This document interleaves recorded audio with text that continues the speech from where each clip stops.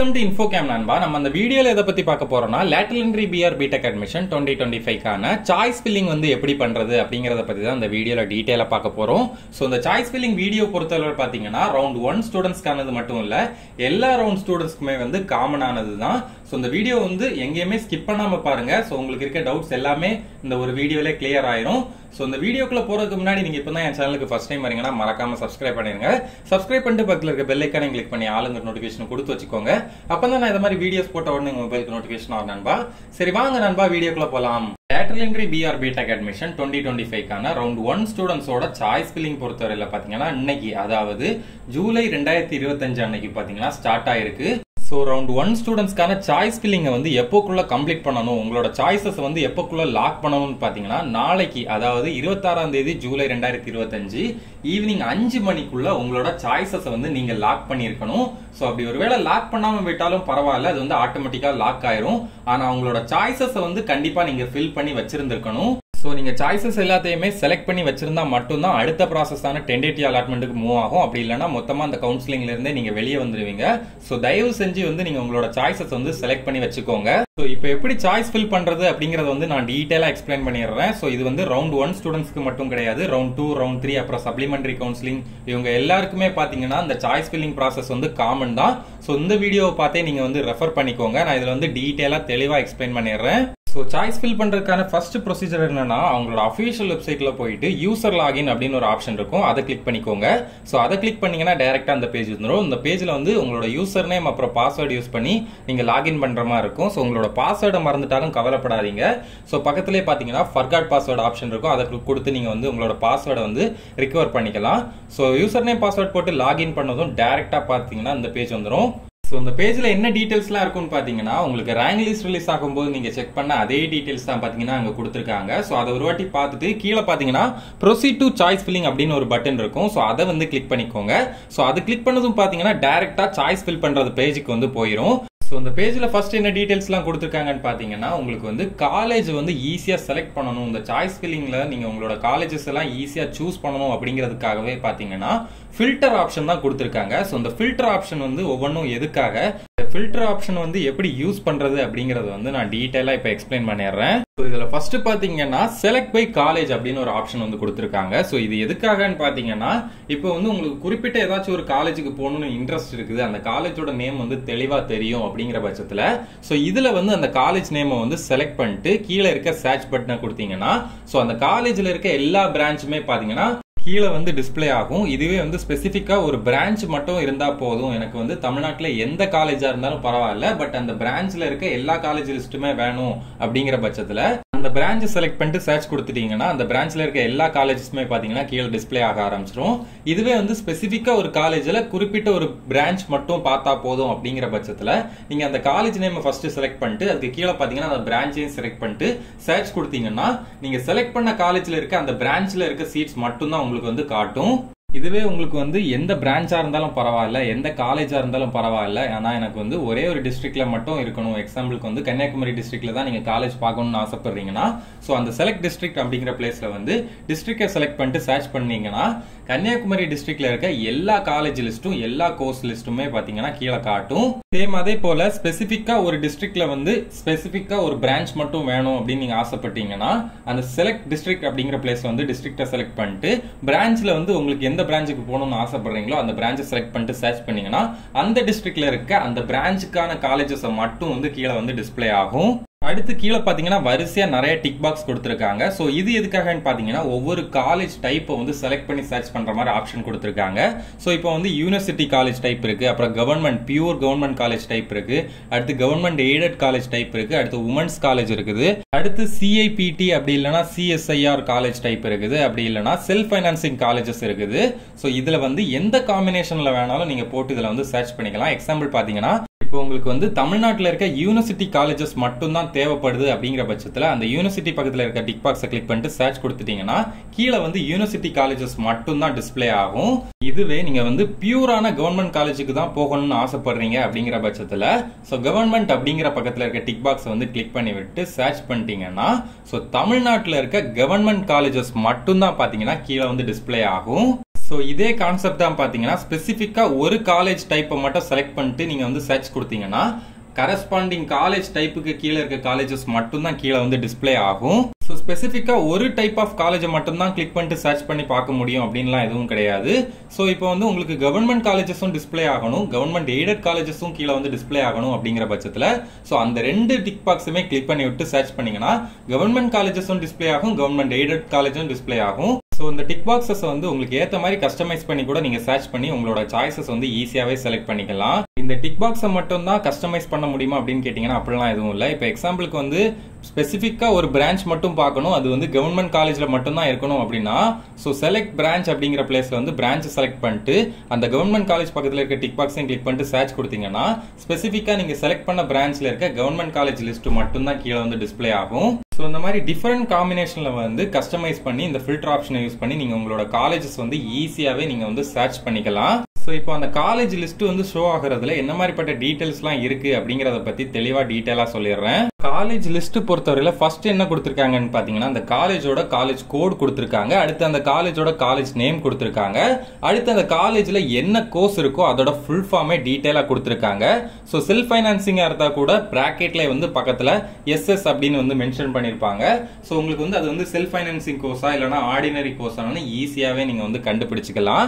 அடுத்து open competition கேட்டகரியில மொத்தமா எத்தனை சீட்ஸ் வந்து அவைலபிளா இருக்கு அப்படிங்கறத வந்து டிஸ்பிளே பண்ணியிருக்காங்க. ஓப்பன் காம்படிஷன் கேட்டகரி பொறுத்தவரையில் பார்த்தீங்கன்னா ஸோ எல்லா கேட்டகரியில் இருக்க ஸ்டூடெண்ட்ஸுக்குமே அந்த சீட்ஸ் வந்து காமன் தான்.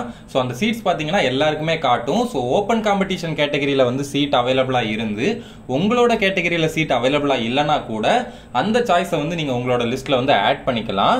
ஸோ ஓப்பன் காம்படிஷன் கேட்டகரிக்கு கூடவே நீங்க என்ன கம்யூனிட்டியோ ஸோ அதுக்கான சீட்ஸும் வந்து அவங்க வந்து கொடுத்துருப்பாங்க. இப்போ நீங்கள் ஒரு காலேஜ் வந்து செலக்ட் பண்ண போறீங்க அதில் வந்து ஓப்பன் காம்படிஷன் கேட்டகரியில் மட்டும்தான் சீட் அவைலபிலிட்டி காட்டுது. உங்களோட கேட்டகரியில் வந்து சீட்டே இல்லை சீரோன்னு காட்டுது அப்படிங்கிற பட்சத்துலையும் நீங்கள் வந்து அது உங்களோட லிஸ்ட்ல தாராளமாக ஆட் பண்ணிக்கலாம். ஸோ உங்களுக்கு வந்து லக் இருந்தால் அது வந்து கிடைக்கிறதுக்கு சான்ஸ் இருக்கு. ஸோ எதனால நான் லக் இருந்தால் கிடைக்கிறதுக்கு சான்ஸ் இருக்குன்னு சொல்கிறேன்னு பார்த்தீங்கன்னா இந்த லிஸ்ட்ல ஃபர்ஸ்ட் இருக்க காலேஜ் பொறுத்தவரையில பாத்தீங்கன்னா ஓசி கேட்டகரியில மட்டும்தான் ரெண்டு சீட் வந்து அவைலபிள் காட்டுது. பிசிஎம் கேட்டகரியில வந்து ஜீரோன்னு தான் காட்டுது.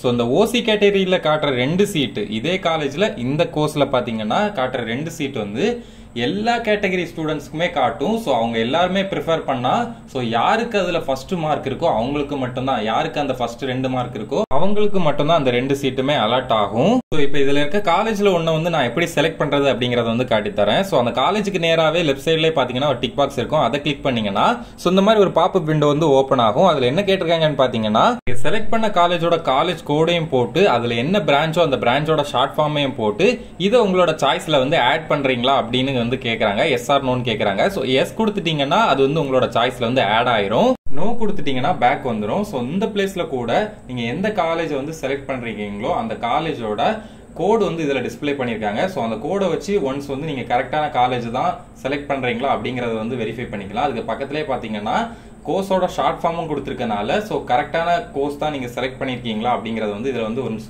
வேலிடேட் பண்ணிவிட்டு உங்களோட சாய்ஸில் வந்து ஆட் பண்ணிக்கோங்க.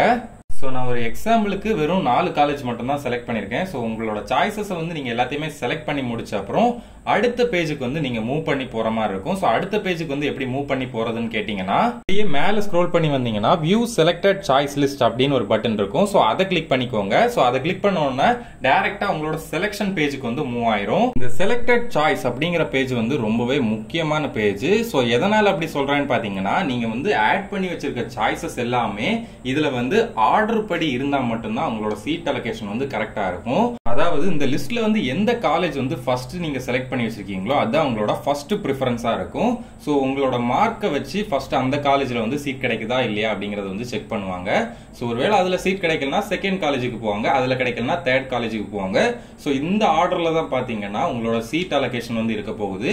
ஸோ நீங்க வந்து ஒன்ஸ் உங்களோட சாய்ஸஸ் எல்லாத்தையுமே செலக்ட் பண்ணிட்டீங்கன்னா நீங்கள் வந்து எந்த காலேஜுக்கு போகணும்னு ஆசைப்படுறீங்களோ அது ஃபர்ஸ்ட் இருக்கா அதுக்கப்புறம் அதுக்கு அடுத்த காலேஜ் இருக்குதா அப்படிங்கிற ஆர்டர் லிஸ்ட்டை வந்து இந்த பேஜில் வந்து கண்டிப்பாக செக் பண்ணியே ஆகணும். அப்படி ஒருவேளை வந்து ஆர்டர் லிஸ்ட்டில் இல்லைனா கூட நீங்கள் வந்து இந்த பிளேஸில் வச்சு நீங்கள் அதை வந்து மாற்றிக்கலாம் உங்களோட ஆர்டர் வந்து கொலாப்ஸ் இருந்துச்சுன்னா அதை வந்து ரீஅரேஞ்ச் பண்ணுறதுக்கு நிறைய ஆப்ஷன் கொடுத்துருக்காங்க. ஸோ அதை வந்து நான் ஒவ்வொன்றா வந்து எக்ஸ்பிளைன் பண்ணிடுறேன். அதுக்கு முன்னாடி இந்த பேஜில் ஏதாச்சும் சாய்ஸ் வந்து நீங்கள் இன்னும் ஆட் பண்ணணும்னு ஆசைப்படுறீங்கன்னா லெஃப்ட் சைடில் மேலே பார்த்தீங்கன்னா ஆட் சாய்ஸஸ்னு ஒரு பட்டன் இருக்கு. ஸோ அதை யூஸ் பண்ணி நீங்கள் உங்களோட சாய்ஸஸ் வந்து திரும்ப இன்னும் ஆட் பண்ணணும்னா ஆட் பண்ணிக்கலாம். அப்படி இல்லை உங்களுக்கு இதில் இருக்க ஏதாச்சும் சாய்ஸ் வந்து ரிமூவ் பண்ணணும் டெலிட் பண்ணணும்னு ஆசைப்பட்டீங்கன்னா ஸோ ஒவ்வொரு சாய்ஸுக்கு ரைட் சைடில் லாஸ்ட்டில் பார்த்தீங்கன்னா டெலிட் சிம்பிள் இருக்கும். அந்த டெலிட் பட்டனை யூஸ் பண்ணி நீங்கள் தாராளமாக உங்களோட சாய்ஸை வந்து இந்த லிஸ்ட்லேருந்து டெலிட் பண்ணிக்கலாம். முதல்ல இந்த செலக்டட் சாய்ஸ் பேஜில் வந்து கொஞ்சம் ஆக்ஷன்ஸ் கொடுத்துருக்காங்க. அது எதுக்காக அப்படிங்கிறத வந்து ஒன்று ஒன்றா எக்ஸ்பிளைன் பண்ணிடுறேன். ஃபர்ஸ்ட் பார்த்தீங்கன்னா இப்போ ஏதாச்சும் காலேஜ் இதில் இருக்க லிஸ்ட்டில் இருக்க ஏதாச்சும் காலேஜ் வந்து மூவ் டவுன் பண்ணணும். மேலே இருக்க காலேஜை வந்து கீழே கொண்டு வரணும். அதாவது எக்ஸாம்பிள் சீரியல் நம்பர் ஒன்ல இருக்க காலேஜை வந்து சீரியல் நம்பர் டூக்கு வந்து மூவ் பண்ணோம்னா ஸோ சீரியல் நம்பர் ஒன் காலேஜுக்கு நேராக இருக்க ஆக்ஷன் சிம்பிளில் டவுன் ஆரோ இருக்கும். ஸோ அதை வந்து கிளிக் பண்ணிக்கோங்க. ஸோ அதை கிளிக் பண்ணதும் பார்த்தீங்கன்னா இந்த மாதிரி ஒரு பாப்அப் விண்டோ வந்து ஓப்பன் ஆகும். ஸோ இதில் வந்து கேட்டிருக்காங்க நீங்கள் செலக்ட் பண்ணி வச்சிருக்க சாய்ஸ் வந்து மூவ் டவுன் பண்ணணுமா அப்படின்னு வந்து கேட்டிருக்காங்க. ஸோ எஸ்னா எஸ்ன்னு கொடுத்துக்கோங்க.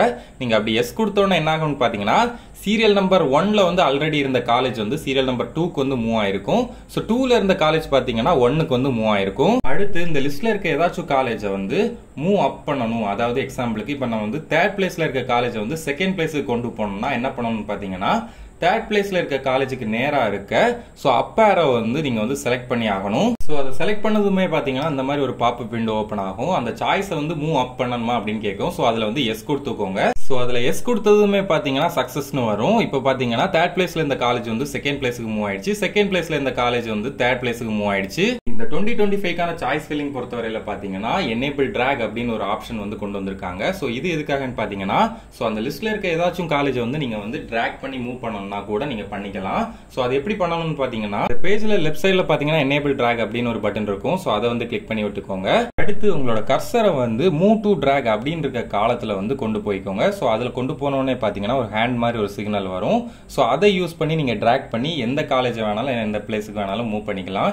எக்ஸாம்பிள் பார்த்தீங்கன்னா தேர்ட் பிளேஸில் இருக்க காலேஜை வந்து ஃபஸ்ட் பிளேஸுக்கு கொண்டு போக அந்த தேர்ட் பிளேஸ் பக்கத்தில் இருக்க சீரியல் நம்பர்லேருந்து அப்படியே கிளிக் பண்ணி ட்ராக் பண்ணி ஃபஸ்ட் பிளேஸுக்கு மூவ் பண்ணிங்கன்னா ஸோ தேர்ட் பிளேஸில் இந்த காலேஜ் ஃபஸ்ட் பிளேஸுக்கும் ஃபஸ்ட் பிளேஸில் இந்த காலேஜ் வந்து தேர்ட் பிளேஸுக்கும் வந்துடும் ஸோ நான் இப்போ சொன்ன எல்லா ஆப்ஷனையும் யூஸ் பண்ணி நீங்கள் உங்களோட சாய்ஸஸ் எல்லாத்தையுமே நான் சொன்ன மாதிரி ஆர்டர் பண்ணி வச்சிட்டிங்கன்னா இந்த சாய்ஸ் ஃபில்லிங் வந்து ஈஸியாகவே கம்ப்ளீட் ஆயிரும். எந்த விதமான கவலையுமே இல்லாமல் ஸோ உங்களோட சாய்ஸஸ் எல்லாத்தையுமே ஆர்டர் படி கரெக்டாக தான் செலக்ட் பண்ணியிருக்கீங்கன்னு ஒன்றுக்கு ரெண்டு வாட்டி கன்ஃபார்ம் பண்ண அப்புறம் சாய்ஸ் லாக் பண்ணுறதுக்கான பேஜுக்கு வந்து மூவ் ஆகிக்கலாம் இந்த பேஜுக்கு போகிறதுக்கு என்ன பண்ணணும்னு பார்த்தீங்கன்னா ரைட் சைடில் மேலே பார்த்தீங்கன்னா கோ டு லாக் சாய்ஸஸ் அப்படின்னு ஒரு பட்டன் இருக்கும். ஸோ அதை கிளிக் பண்ணீங்கன்னா டேரெக்டாக லாக் சாய்ஸஸ் பேஜுக்கு வந்து மூவ் ஆயிரும். உங்களோட சாய்ஸஸை வந்து லாக் பண்ணுறதுக்கு முன்னாடி இந்த பேஜில் வந்து ப்ரிவியூ சாய்ஸஸ் அப்படின்னு ஒரு பட்டன் கொடுத்துருப்பாங்க. ஸோ அதை கிளிக் பண்ணீங்கன்னா ஒரு பிடிஎஃப் வந்து டிஸ்பிளே ஆகும். அந்த பிடிஎஃப்ல எந்தெந்த காலேஜஸ் எல்லாம் நீங்கள் செலக்ட் பண்ணி வச்சிருக்கீங்களோ அதெல்லாம் இருக்கான்னு ஒன்றுக்கு ரெண்டு வாட்டி செக் பண்ணிக்கோங்க. அதை விட முக்கியமான விஷயம் அந்த சாய்ஸஸ் எல்லாமே உங்களோட ப்ரிஃபரன்ஸ் ஆர்டர் படி தான் இருக்குதா அப்படிங்கிறதையும் அந்த பிடிஎஃப்ல வந்து தெளிவாக பார்த்துக்கோங்க.